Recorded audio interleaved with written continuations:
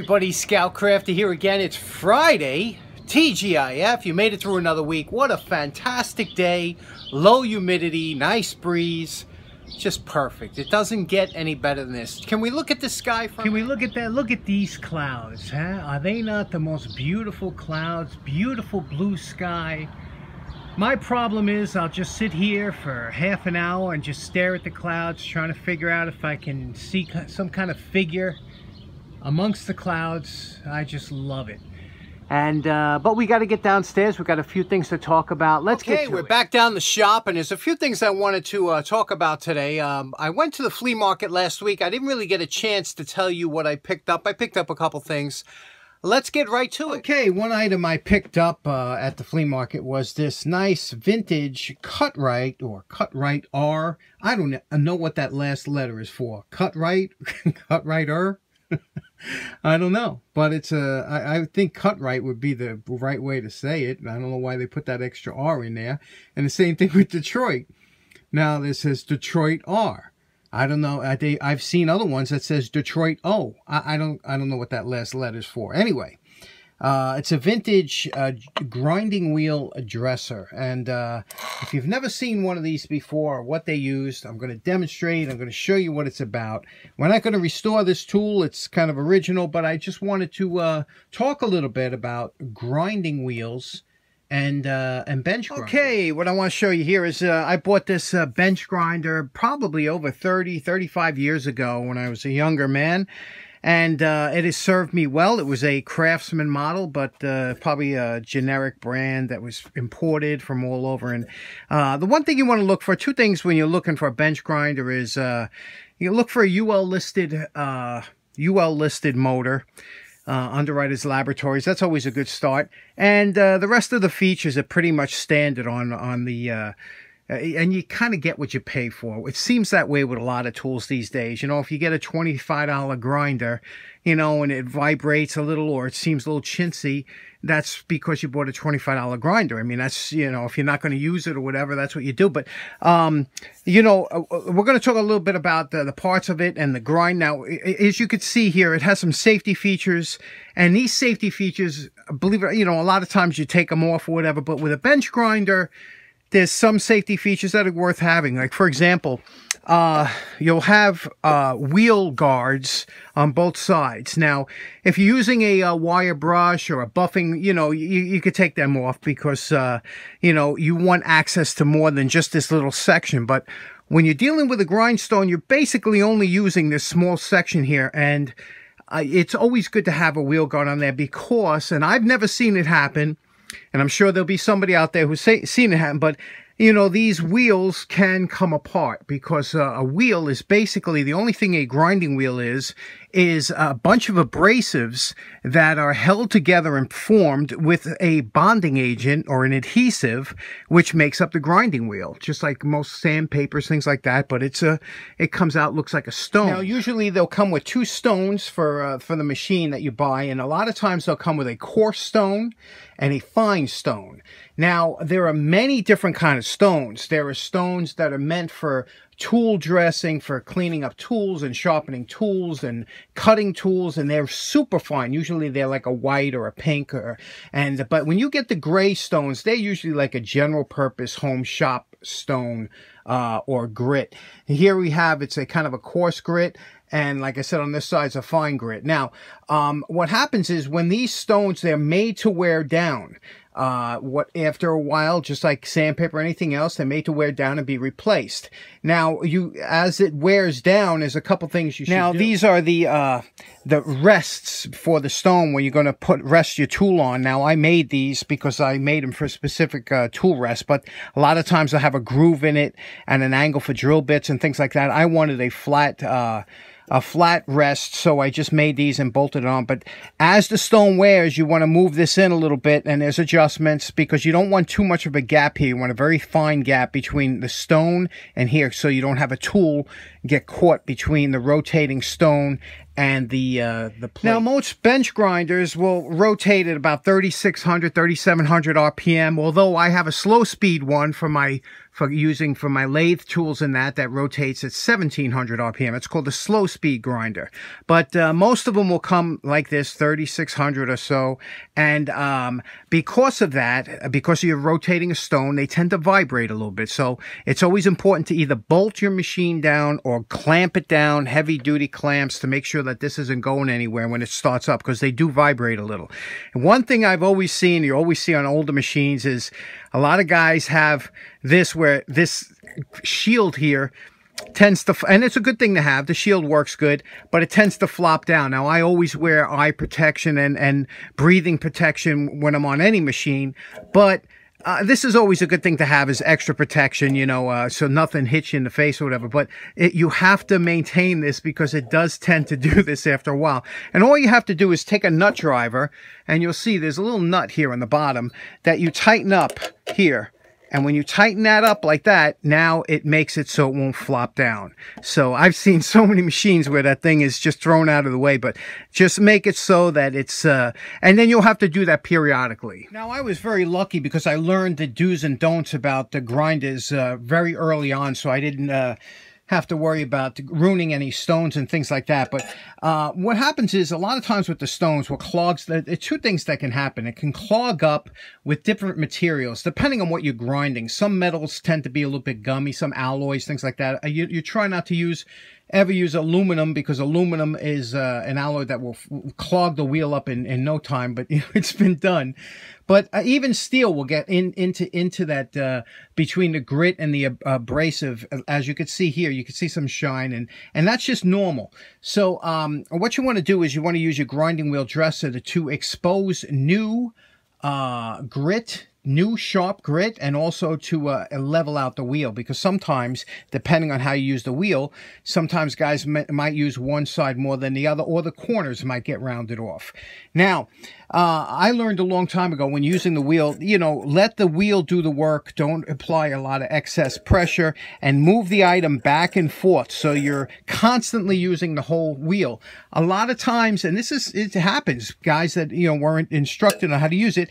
They got to take a corner off, they'll go right into the middle of the wheel here and wear this off. And then what happens is you'll take the corner off, but you also put a little indentation in the wheel and that's a no-no. And, you know, as, as far as using the side of the wheel, they tell you never use the side of the wheel.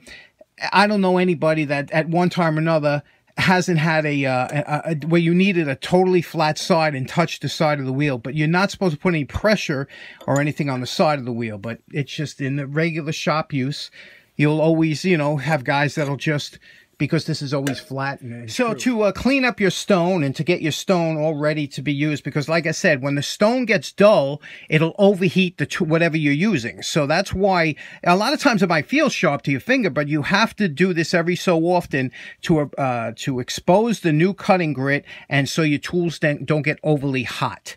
Um, this steer, uh, this grinding wheel dresser has two flats on the bottom here, you could see, and that's to rest on top of here like this. And what you do is you hold it here like this, you address it to the wheel, and you go back and forth like this. Now, these spinning wheels will dig into the wheel, uh, uh and it will expose new grit. Now, there are different type of dressers. There are stone, there are stick type dressers that you can just push it in like that. I have that for my other wheels. And there are a diamond stone dressers, which are very good too.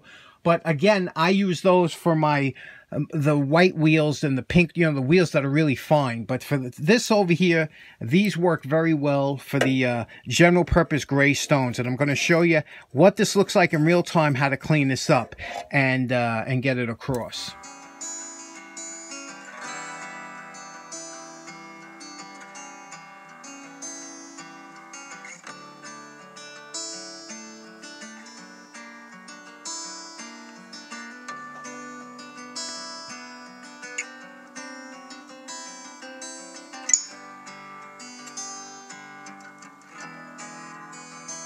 Now, it is important, and you should always wear a mask, a, a, dust mask, but it is more important to wear a dust mask when you're doing this operation or some kind of breathing protection because, uh, like I said, you're you're exposing this and it's getting into the air. But uh, here it is. We did the wheel just, you know, it, it exposed the new grit here. It You could feel it. It feels a little bit sharper. That's basically how you do it. Now, the important thing is when you're you're going to uh, to use your tool, like we let's say we want to flatten this side out, I'm going to show you how you would do it on the tool so that you use the entire section of the wheel.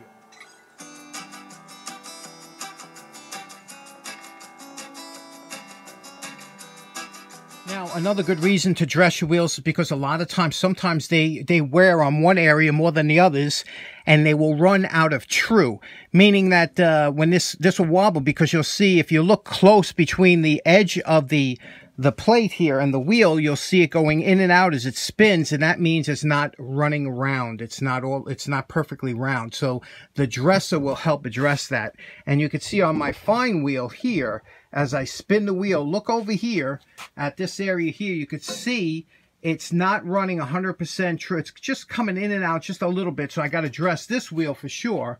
But I also wanted to show you before I dress it, um, it's important to have water or some kind of cooling agent uh, here because when this when your tools get hot always dip them never let them get too hot but I want you to notice the grain pattern here because we use the coarse wheel look at the uh, you know, you see how that, that's the finish that that coarse wheel will leave. And I'm going to compare that to the fine wheel after we dress it. Now, I'll be honest, I haven't dressed this wheel since I bought the machine 30 years ago, but you can see the difference now. It's definitely running more true. It has a nice surface now. And if we look at here, if we look at the uh, edge here, you could see it uh, it did a nice job of, of taking away material and leaving a, a decent surface on here. Okay, next up I picked up this lovely bulb. Uh, this was $5. I stole this. I literally stole this for 5 bucks.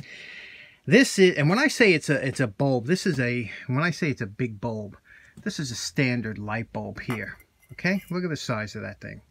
It is tremendous.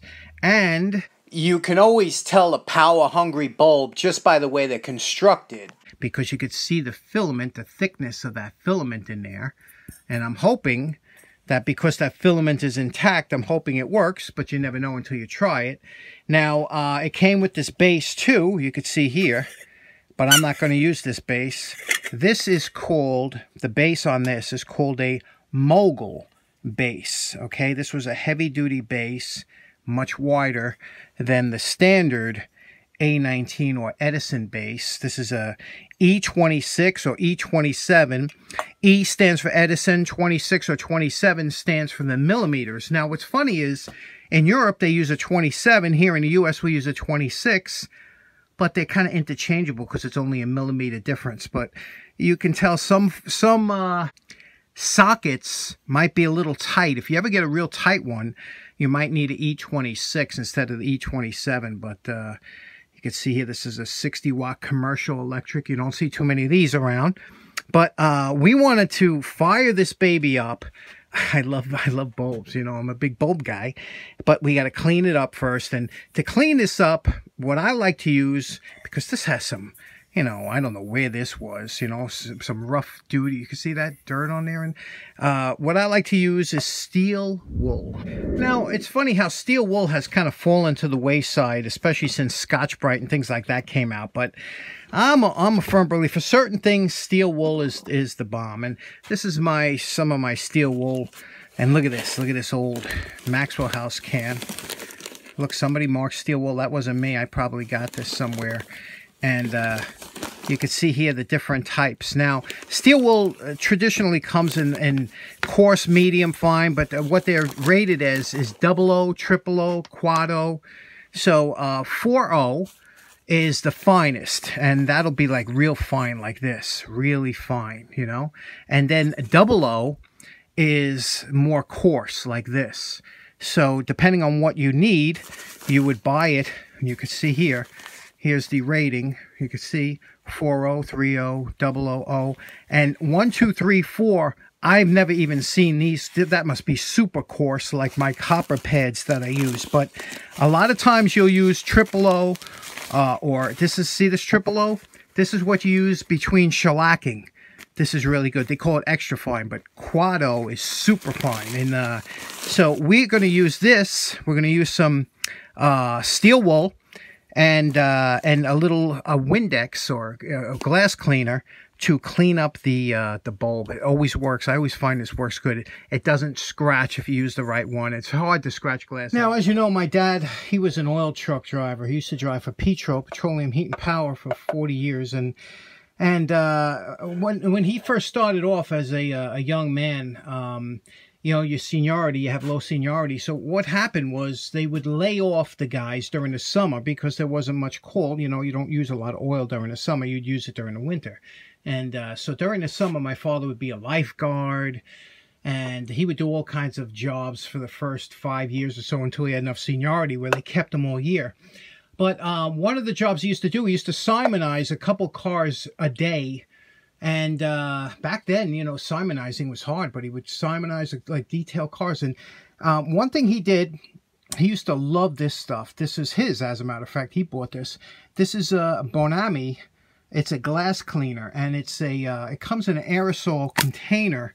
And I'll tell you, the one thing nice about these, uh, this aerosol compared to the regular Windex or Glass Plus. This stuff works fantastic. He swore by this. This and Quad O steel wool. He would do the windows uh, for the cars he did, and people just could not believe. It was like looking out of uh, a brand new car. So he always, and every once in a while, he would do my car, and uh, and I always remember this. So um, I like this spray. If you can find this, it's really good.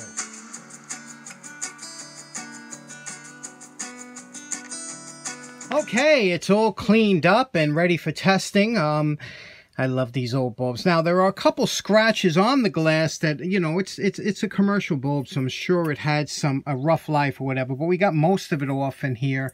You can see how pretty that looks. We cleaned the bottom. We did this with Scotch-Brite. You don't want to do this with steel wool because there are little openings here, and you don't want any metal filings getting in there. So a little Scotch-Brite on here with a little leftover polish that was on there. Cleaned this base up real nice.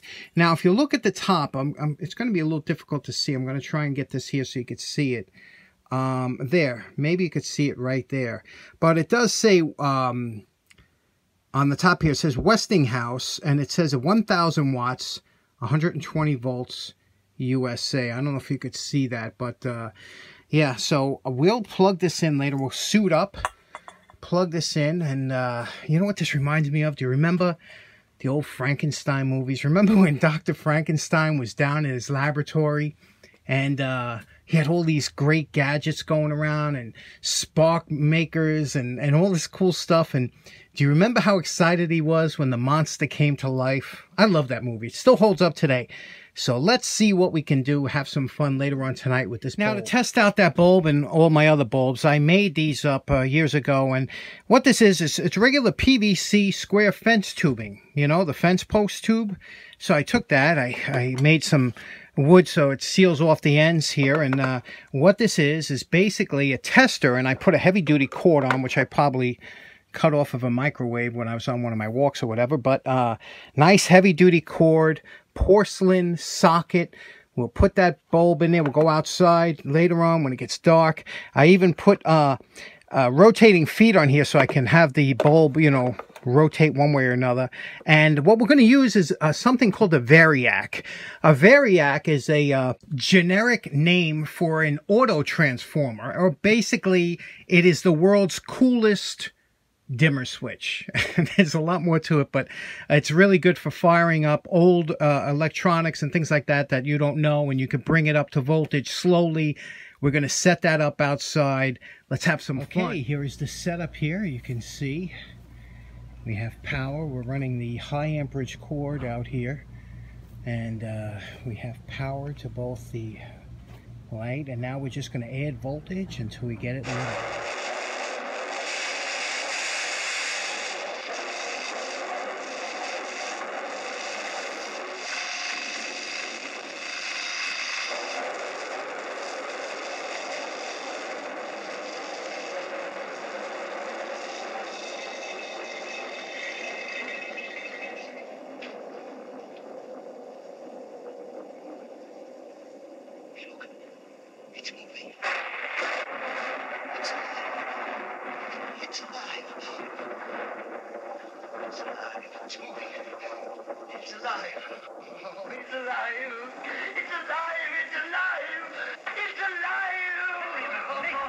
Didn't I tell you we have fun tonight?